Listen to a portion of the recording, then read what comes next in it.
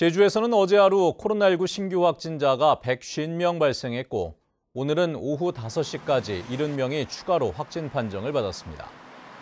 현재 제주 지역에서는 1,060여 명이 격리 중이고 입원 환자는 1명이며 위중증 환자는 없습니다. 최근 일주일 동안 제주 지역의 코로나19 확진자 수는 1,218명으로 전주보다 208명 감소했습니다.